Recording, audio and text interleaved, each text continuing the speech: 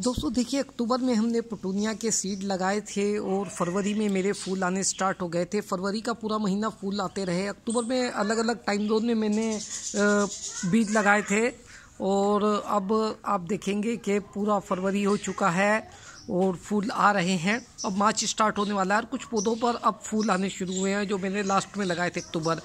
तो ये वाले पटूनिया मैंने लगाए थे और इस पर पूरा महीना हो चुका है फूल लाते हुए और उधर आने स्टार्ट हुए हैं अभी फूल, उस वाले पटूनिया के गमले में। ये हाइब्रिड पटूनिया है, इस पर भी काफ़ी सुंदर फूल आ रहे हैं। इसके अलावा मैंने कुछ ज़मीन में लगाए थे, उन पर भी फूल आ रहे हैं, आप देख सकते हैं वहाँ पर। इतने ज़्यादा हो गए थे एक पैकेट से ही कि मैंने हर तरफ़ लगा दिए हैं, यहाँ पर हैं। और मैं आपको दिखाता हूँ कि यहाँ पर हैं और इधर में, आगे में, हर तरफ़ पुटूनिया के प्लांट मैंने लगा रखे हैं। दूसरी क्यारियों में भी पुटूनिया के प्लांट हैं। तो आप ये देख सकते हैं कि कितना अच्छा रिज़ल्ट, ये देखिए, यहाँ पर इस गमले में भी पुटूनिया के प्लांट हैं। तो कितना अच्छा आप देख सकते हैं कि रिज़ल्ट मिला है। तीन प्लांट में नर्सरी से भी लाया था हाइब्रिड के, क्योंकि मेरे पास ये हाइब्रिड वाला सिर्फ़ वाइट ही है और कोई मेरे पास हाइब्रिड नहीं है। तो इस तरह आपने देखा कि अक्टूबर में लगाने के बाद मुझे फरवरी स्टार्टिंग से फूल मिलने शुरू हो गए थे और बहुत ज़्यादा फूल आए हैं और आ रहे हैं। और अभी मुझे उम्मीद है कि मार्च, अप्रैल और फूल रहेंगे, जिस हिसाब से भी प्लांट्स की कंडीशन है।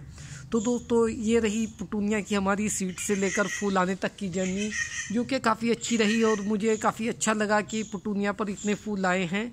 जिस पर फूल आने शुरू हुए हैं, मैं उसे दिखाता हूँ। वैसे दो तीन दिन से हमारे यहाँ काफ़ी बारिश हो रही है उत्तराखंड में तो फूलों की हालत थोड़ी सही सी नहीं हो रही है पानी की वजह से।